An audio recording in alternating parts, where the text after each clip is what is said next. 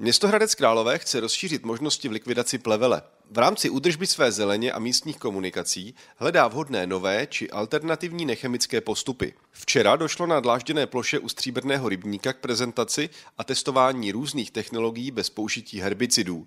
Do několika týdnů bude prvotní úspěšnost jednotlivých metod vyhodnocena a místo pak bude sledováno i nadále.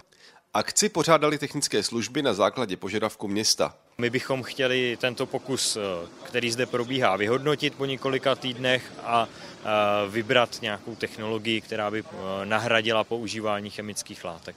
Na akci předvedlo svoje stroje šest dodavatelů. Každý dostal prostor pro svou prezentaci.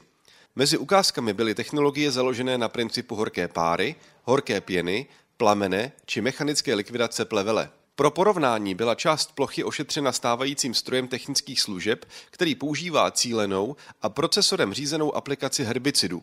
Ponechána také byla kontrolní plocha bez ošetření. Jsou tady přítomní i zástupci eh, akreditované chemické laboratoře, eh, odebereme si z těch vodních a eh, pěnových zařízení i vzorky, abychom měli jistotu, že je to skutečně čistá voda, anebo že ta pěna je nezávadná.